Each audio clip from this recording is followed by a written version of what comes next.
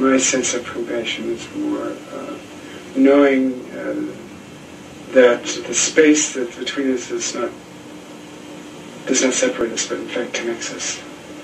And so, if I cut my finger, I put a bandage on. And if you fall down, I help